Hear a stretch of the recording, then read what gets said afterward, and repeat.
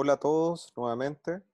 Eh, vamos a resolver entonces ahora la parte 4 del ensayo de preparación ética, ¿cierto? El ensayo, el la primera convocatoria nacional que le llamamos nosotros de matemáticas.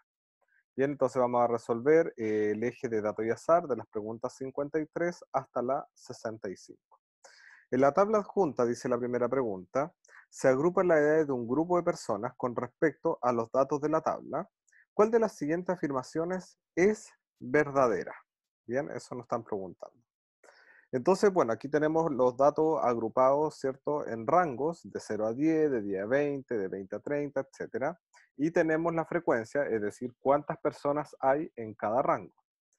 Nos preguntan, como estas son preguntas generales de análisis, eh, algunas las voy a resolver directamente en la pregunta, es decir, no voy a avanzar hacia la hoja cuadriculada para que tengamos los datos directamente. ¿Bien?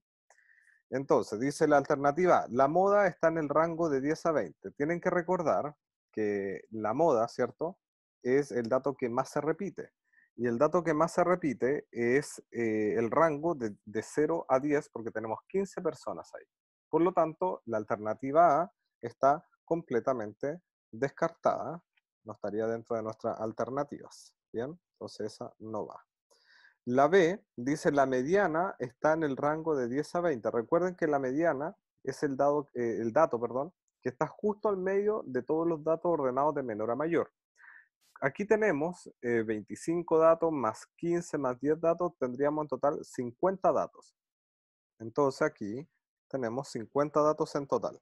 Si nosotros dividimos en 2, nos va a dar 25 datos en, la primer, en el primer 50% y 25 datos en el segundo el 50%. Entonces, el dato que estaría al medio sería el 25,5. Pero, como tenemos aquí 25 y acá abajo 25, el rango sería en la marca de clase, el promedio de la marca de clase entre este rango y este. Por lo tanto, no es el rango de 10 a 20, sino que sería el promedio de la marca de clase entre este y ese. Por lo tanto, la alternativa B tampoco es. Dice, el 20% de las personas tienen menos de 20 años. Si tienen menos de 20 años, ¿cierto? Serían los 10 personas y estas 15 personas. Entonces sería 25 de 50 y 25 de 50 sería el 50%. Por lo tanto, esta tampoco es. Y la alternativa D dice la moda está en el rango de 0 a 10. Perfecto, porque aquí tenemos la mayor cantidad de personas. Entonces la alternativa correcta es la D. Bien. Pasemos a la pregunta entonces 54. Dice, el tercer cuartil de la nota que obtuvieron un grupo de alumnos en un examen es 6. ¿Cómo se interpreta este dato? ¿Cómo nosotros podemos interpretar, cierto, que el tercer cuartil eh, corresponde a una nota 6? Recuerden que los cuartiles son, eh, si nosotros lo ordenamos, aquí están, eh, vamos a hacer como una especie de recta numérica, si ustedes quieren. ¿ya? Entonces aquí van a estar los n datos. Em, entonces aquí vamos a tener el cuartil 1, el cuartil 2, ¿cierto? Y el cuartil 3. Este quiere decir el 25% de los datos se encuentra hasta aquí, es decir, de aquí hasta acá hay 25% de los datos, 50% de los datos, en ese caso coincide con la mediana, y el 75% de los datos se encuentra hasta aquí. Por lo tanto, si tengo una nota 6, quiere decir que máximo, a lo más, ¿cierto? Un 75% de los alumnos tuvo una nota 6, por lo, por lo tanto, la única eh, alternativa correcta podría ser la C o la D, que dicen 75%, pero como la C dice a lo más, es la correcta porque no es a lo menos. ¿Bien? Entonces, es la alternativa C. Vamos entonces con la 55.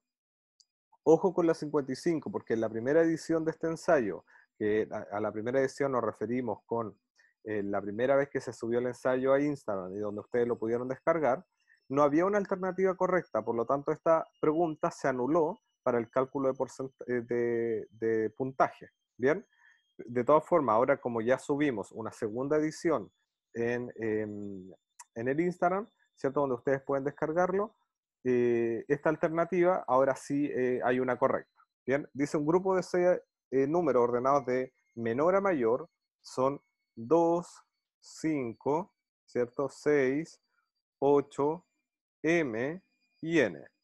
Y tienen un promedio, entonces el promedio es DM. ¿Y cuál es el valor, cierto, de m menos n, verdad? Si el rango es 16, recuerden que el rango es la resta entre el último dato, n, menos el primer dato. Entonces eso nos tendría que dar 16. Por lo tanto, n daría 18. ¿Bien? Entonces genial porque solamente tendría un solo dato que descubrir que sería m para después sacar la resta. Entonces, 2 más 5 serían 7. 7 más 6 serían 13, ¿cierto? 13 más 8 serían 21. Entonces nos quedaría 21 más 18 más m, ¿cierto? Y 21 más 18 serían 39. Entonces 39 más m, como son 6 datos, lo divido por 6 y eso me tendría que dar un promedio que sería m. Aquí simplemente como tengo que despejar m, una ecuación de primer grado, entonces me quedaría 36, ¿verdad? Más m igual 6m. Aquí me quedaría 36 es igual a 5m, porque recuerden que este me pasa restando. m, por lo tanto, es 36 partido por 5. Eh, ¿Bien? Perdón. Anoté siempre 36 y era 39. Aquí es 39, aquí es 39 y aquí es 39. 39 partido por 5. Bien, entonces la alternativa correcta es la letra E. Bien. Vamos con la 56, ¿cierto? Que nos dice, espérame que me quedó una duda aquí. Ya, estaba bien. Dice, según los datos de la tabla adjunta, ¿se podría saber el valor de n? Sí, podríamos saber el valor de, de, la letra n, sí. Aquí, ¿cierto? Tenemos eh, las notas y cuántas personas tenemos eh, de cada, de cada nota. Entonces tenemos 15 eh, personas o 15 alumnos que se sacaron una nota 3, N alumnos que se sacaron una nota 4 y 15 alumnos, ¿cierto? Que se sacaron la nota 5. Este es el típico ejemplo donde nosotros tenemos que multiplicar la nota por la frecuencia, más la nota por la frecuencia, más la tercera nota por la frecuencia, todo eso dividido por la suma de las frecuencias, en este caso 30 más n, y eso me va a dar el promedio. Entonces, si nosotros conocemos el promedio, podríamos sí o sí conocer el valor de n. Entonces nos quedaría así, una cosa así, 3 por 15 más 4 por n más 5, ¿cierto? Por 15. Todo eso lo dividimos por cuánto? Por 30 más n. Y eso si nosotros conocemos la media aritmética, que sería 4,5, sí podríamos saber el valor de n porque nos quedaría una ecuación de primer grado. La mediana no tiene nada que ver, así que solamente con el dato 2 me serviría. Por lo, por lo tanto, sería la alternativa correcta la letra B. Bien, vamos entonces con la 57. Si un grupo de datos, eh, todos los datos son distintos entre sí y la mediana es igual a la media aritmética, ¿Cuál aseveración es siempre falsa? Entonces vamos a suponer que tenemos cuatro datos, A, B, C y D. Podemos tener más, también podemos tener menos, da lo mismo. Yo me estoy poniendo simplemente cuatro datos para explicarlo mejor, ¿cierto? Dice que la mediana, vamos a suponer que la mediana, vamos a ponerle la letra N, y el promedio o la media aritmética también N, porque dice que son iguales. Dice, ¿cuál aseveración es siempre eh, falsa, ¿cierto? La moda es igual a la mediana y a la media, la media aritmética. Eh, podríamos, eh, no, no, no, necesariamente va a ser falso, porque si la moda, como no existe, porque como son distintos a, todos los elementos son distintos, la moda va a ser cero o no existe, ¿cierto? Entonces em, va a ser igual a la, a la, mediana, podría la mediana ser cero, también la, la media aritmética también podría ser cero. Bien, entonces la 1 podría ser verdadera, no siempre va a ser falsa. ¿El grupo está formado por dos datos? No, porque podría estar formado por muchos, no tiene que ver con la cantidad de número de datos. La desviación estándar será igual a menos 1, esa es, siempre falsa porque la desviación estándar es siempre mayor o igual a 0. ¿Bien? No existe moda, eso es verdadero, así que no tiene nada que ver con que sea falso. Bien, entonces la alternativa correcta sería la letra C. Vamos con los 58.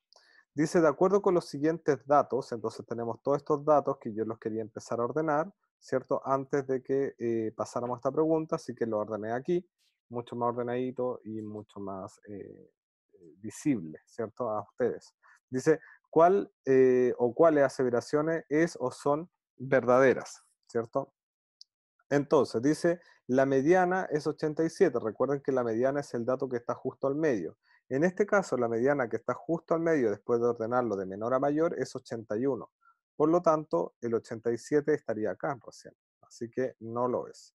Dice, el, eh, el cuartil 3 menos el cuartil 1 nos daría 15. Recuerden que los cuartiles son posiciones, números que posicionan el 25% de los datos, el 50% de los datos, el 75% de los datos, ¿cierto? Y eh, bueno, el último cuartil, el cuartil 4, posiciona al 100% de los datos. Entonces, el cuartil 3, en este caso, el 87, ¿cierto? Y el eh, cuartil 1 es el 72. Si nosotros lo restamos, ¿cierto? Nos daría 15. Entonces, efectivamente, esa es verdadera. El cuartil 3, el 87, sí, porque aquí, en esta posición, están todos el 75% de los datos. Así que eso es verdadero. La 2 y la 3 es verdadero. Entonces la alternativa correcta es la D. Vamos con la 59. De acuerdo con la siguiente serie numérica, ¿cuál debería ser el valor de m para que el cuartil 3, es decir, Q3, sea 6,5? Aquí tenemos que hacer también lo mismo de siempre, ordenarlo de menor a mayor, el 1, el 2, aquí ya estaría ordenado eso. Después vendría el 3, ¿cierto? Después vendría el 4, después el 5, ¿cierto? Ahí, después el 6, después el 9, y m no sabemos dónde está, ¿cierto? Pero si nosotros queremos que el cuartil 3 sea 6,5, ¿cierto? ¿Cuál debería ser el valor de m? El cuartil 3, recuerden que posiciona al 75% de los datos. ¿Cuántos datos tenemos? Tenemos 2, 4, 6, 8, porque recuerden que M también es un dato. Si nosotros queremos posicionar el 75% de los datos, sería el dato 6. 2, 4, 6, ¿verdad? Entonces, si nosotros queremos que el cuartil 3 eh, sea 6,5, no nos queda otra opción que m, ¿cierto? El valor de m sea igual a 7 porque de esta forma, ¿cierto? Se podría cumplir que el cuartil 3 tuviese eh, como valor 6,5. Ahora, también hay unas fórmulas, ¿cierto? Que em, eh, posicionan o, nos dan a entender de mucha mejor manera y mucho más eh, acabado cómo podemos resolver este ejercicio. Pero esto lo vamos a ver en clase y lo estoy haciendo en forma general para que ustedes tengan la alternativa correcta pero eh, no para que aprendamos a través de esto eh, lo que es el cuartil o cómo calcularlo. Bien, entonces en este caso la alternativa correcta sería la letra D. Y como les digo, esto lo vamos a ver en clases. La 60 dice, un grupo de 50 personas está compuesto de 35 hombres y 15 mujeres. Entonces aquí conviene eh, simplemente hacer una tabla. Aquí vamos a poner los hombres, aquí vamos a tener las mujeres. Dice de los 10 hombres usan pantalones, entonces vamos a poner pantalones y eh, los que no usan pantalones, no pantalones. Ya sabemos que hay 50 personas en total, así que en este cuadro deberían haber 50 personas sí o sí, en total. Ahí. Entonces, hay 35 hombres en total, entonces aquí hay 35 hombres y en total hay 15 mujeres. Bien, de los hombres, 10 usan pantalones, por lo tanto aquí hay 10 y aquí tendrían que haber 25. De las mujeres, 5 usan pantalones, aquí deberían haber 5 y aquí 10. Al seleccionar una persona al azar, ¿cuál es la probabilidad que sea hombre? Entonces, que sea hombre, pero que no use pantalones. Aquí. Entonces podemos tener, obtener 25 personas, hombres que no usen pantalones, ¿de cuánto en total? De 50. Y eso es lo mismo que decir un medio. Bien, entonces la alternativa correcta sería la letra D. Dice, una caja contiene cinco bolas azules, entonces cinco bolas azules y ocho amarillas, entonces ocho amarillas. Se extrae una bola y se reemplaza por dos del otro color. A continuación se extrae una segunda bola. ¿Cuál es la probabilidad de que esta bola sea amarilla? Entonces tenemos dos opciones. La primera, Supongamos que en la primera eh, vez que nosotros sacamos una bola, vamos a sacar azul. Entonces, si sacamos azul, la probabilidad de eso sería 5, ¿cierto? De 13, porque es el total de bolas que hay. ¿En qué se convertirían en estas bolas cuando saquemos un azul? Se convertirían cuatro azules, ¿cierto? Pero tendría que meter dentro de la bolsa o dentro de la caja dos amarillas, porque nos dice que se, se suman, ¿cierto? Dos bolas. Entonces serían 10 amarillas. Ahora, la probabilidad de sacar la amarilla, ¿cierto? Sería 10 eh, de 14. Entonces tengo la primera probabilidad y la segunda cuando sacamos la segunda bola. Tenemos otra opción. ¿Qué pasaría que si en vez de sacar la azul sacamos la amarilla la primera vez que sacamos la, bola? Sería 8 de 13. Ahora esas se convertirían, ¿cierto? En 5 azules, porque seguirían habiendo las 5 azules, eh, eh, pero le sumamos 2, por lo tanto ahora van a ser 7 azules. ¿Bien? No 5. Y la amarilla en vez de ser 8 van a ser 7 amarillas. La probabilidad de sacar amarilla entonces vendría siendo 7 de 14. ¿Bien? Ahora, esta probabilidad, para calcularla, porque tenemos dos sucesos que son independientes entre sí, ¿cierto? Pero que van relacionados dependiendo de lo, de lo que yo saque en un principio. Entonces, la primera opción sería 5, ¿cierto? Partido por 13 por 10 de 14, porque necesito que si pasa esto, pasará sí o sí lo otro. Más, ahora vamos a sumar esta segunda probabilidad porque también podría darnos esa como otra opción, ¿verdad? 7 partido por 14. 13 partido, 13 por, eh, eh, perdón, 13, ¿cierto? Por 14 nos daría 182, ¿verdad? Aquí 5 por 10, 50 y 7 por 8, 56. Entonces nos daría 106 partido, 106 partido por 182. Y eso lo podemos simplificar por 2, nos daría 53 partido en 91. Por lo tanto, la alternativa correcta sería la letra C.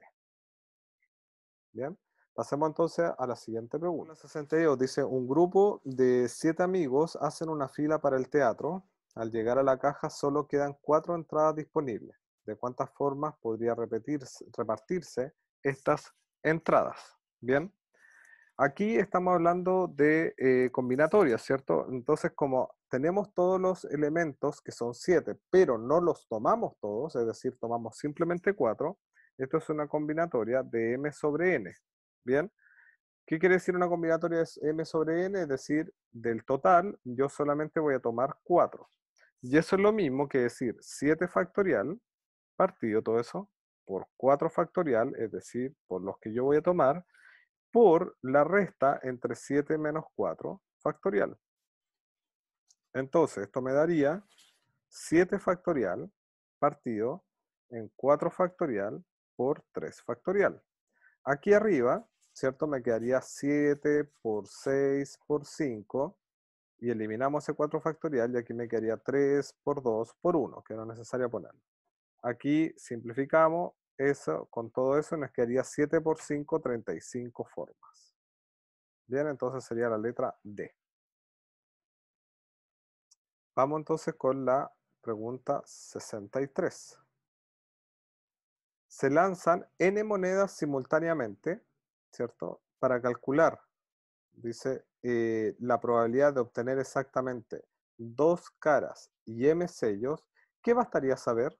¿Cierto? Entonces, eh, en este caso en particular, da lo mismo que sepamos si sabemos n o sabemos m, porque si sabemos una de las dos, inmediatamente podemos saber cualquiera de las otras dos, ¿cierto? Porque ya sabemos que m, que es n, ¿cierto? Eh, menos m es igual a 2, que el total de monedas menos los sellos nos va a dar 2. Por lo tanto, si sabemos cualquiera de las dos, podríamos saber eh, eh, la probabilidad. Entonces, sirve tanto la 1 como la 2, cada una por sí sola, la alternativa D. Vamos con la 64.